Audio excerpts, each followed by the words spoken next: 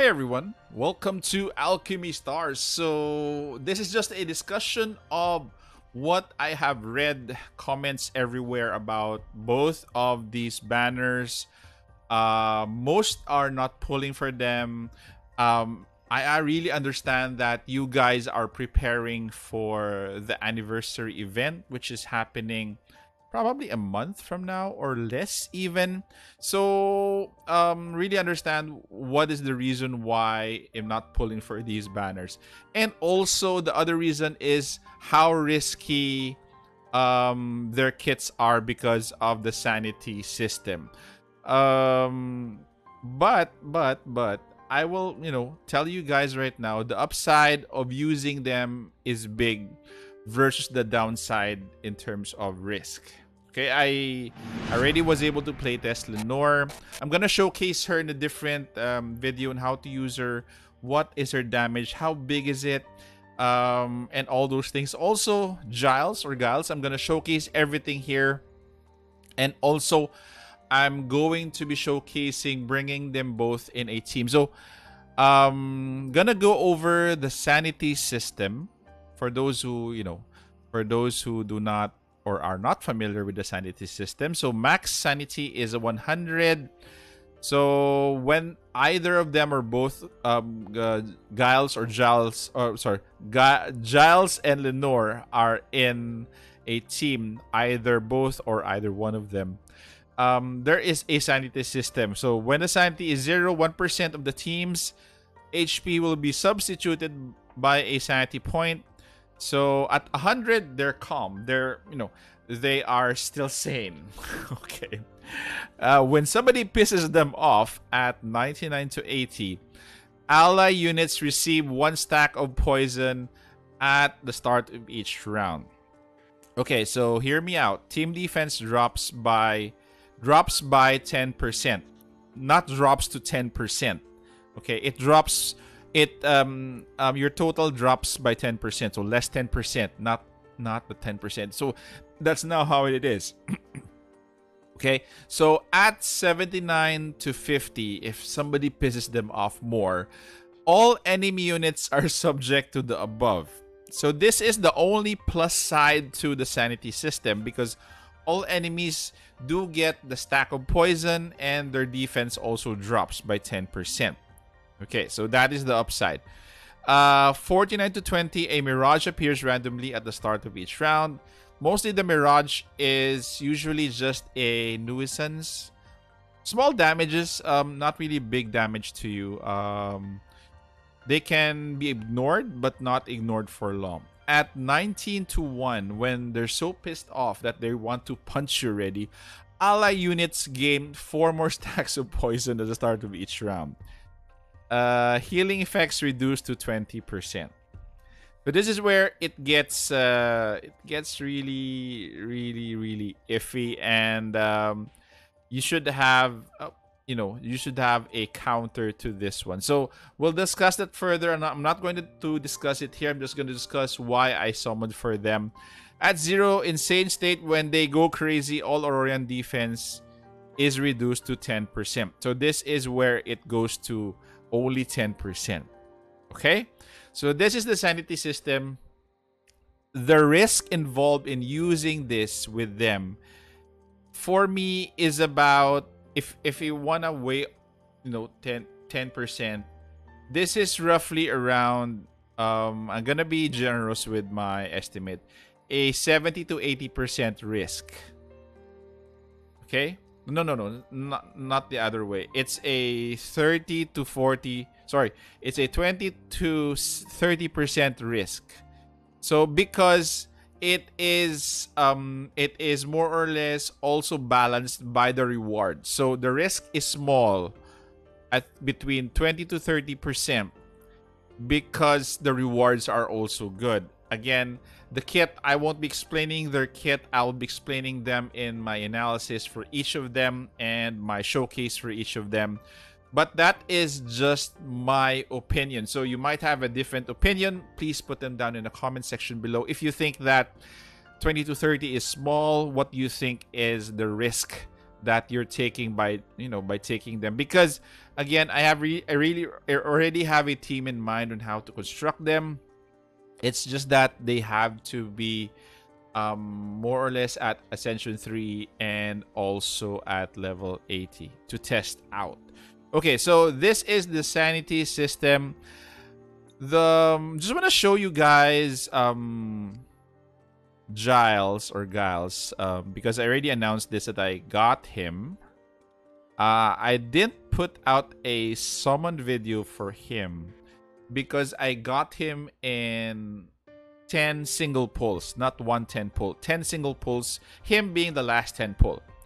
So this is just by luck that I really, really, you know, um, high on luck during the time that I got him and um, not really not really disappointed why I got him. It was at the back of my mind the first time I got Lenore. I told myself, what if I pair the both of them? I need Giles in that team. Um, I'm really excited for that one. That is why I summoned for Giles as well. Okay, so I really like the challenge of building around the both of them. Um, it's really it's uh, it give it it takes me back to the days where I was playing Magic the Gathering and I had to play with um, with weird cards that uh, that doesn't seem to fit. But eventually, if somebody makes a deck out of them, they would be very popular. So I'm I'm building on that premise wherein I think they are um, hidden gems that that we don't realize it yet now, but eventually we will. Um, so um, that is why I'm really, really pushing for them. Also, I'd like to challenge the meta. If right now the meta is really established already after nearly a year, I'd like to challenge the meta with the both of them, with using the both of them. Okay, and also I'd like to share the prototypes with you guys as well. So if I've had a team, um, made them work, I'd like to share it with you, and probably you could appreciate it as well and use it. Okay, so I mentioned already that there's potential in bringing both of them in one team. So, more or less, they're going to be ridiculous based on what I'm seeing from both of their kits. Um, you can use them both in one team. Um, they're u- gonna use the same sanity system, and um, to ma- to really enhance their potential, you should you know lower down their sanity to zero more or less. Okay, so also they're playable at one copy. Like for example, for Lenore, you don't need a preemptive strike. Both of them are pre- preemptive strike. For Lenore, um, her active skill is a cooldown of one. For for Giles, it's going to be zero. So again, a lot of firepower there. I tell you, it's just that you just have to build a team around them, not just put somebody or someone, you know, just because you want to put a team around them. Okay, my view of Lenore is um, she can rival Yao and Arya for damage. I've seen the damage that level 56 Arya can do versus my sorry level 56 Lenore can do versus Arya and it's going to be you know nearly there nearly nearly there I'll you know I'll showcase that in a different video so that we could really talk about Lenore on really how to maximize her. So again, potential is also big for Lenore. Uh, again, she can rival Yao and Arya. Um, I'm just gonna show you guys my Arya. She's already maxed out. So equipment is maxed out here, and uh, breakthrough is also maxed out. So I've seen the result of the damage output, and I think it's promising for Lenore for Mr. Giles or Giles. Where is he? For this guy, I think he's the best sniper around for fire. Uh, fire badly needed a sniper, and we got him, and he's bonkers. Both of them are not. I'm, I'm not saying both of them are OP. They are very good, not OP. But at this point, um, they're they are going to be either good or very good. So um, Giles or Giles is actually better, you know, has has more potential um, than Lenore uh, in terms of building either one of them or both of them. So if you're asking me who you want to prioritize, if you're still thinking of um, you know pulling for both of them, I think Giles is going to be the way to go when if you really are choosing between Giles and Lenore. Okay, so for those of you guys who have pulled from either either of them, I think you made the right decision. Um, at this at right now, right now, um, moving forward, hopefully they add to the sanity uh, mechanic and add more Aurorians to this. This is I enjoy you know working you know building a team around them and go or going to build a team around them.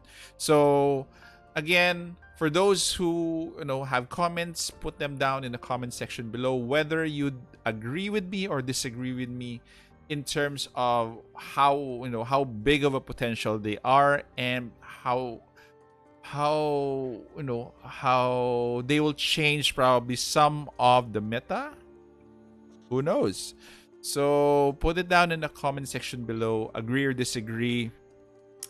Honestly i'm not worried about the anniversary. So if there are an event there's an event and then a new unit very good i'll cross the bridge when i get there. At this point i'm not really worried um cross the bridge then we'll see what happens during the anniversary. I, I don't want to regret do you know because when you're there in the anniversary already you might regret not pulling for this. Otherwise for this one um when you're at the anniversary when you pulled already uh you can still remedy the anniversary. Obviously if you want to pull for you know for a unit there you have to spend if you don't have any savings like me my lumamber is 434 and I am really suffering from, you know, from all of the pulls, but I am happy that I pulled for the both of them.